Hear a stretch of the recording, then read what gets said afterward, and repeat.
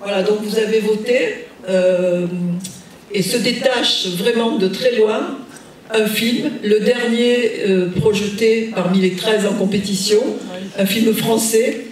qui vous a fait rire, Pauline a servi de Charline Bourgeois-Taquet.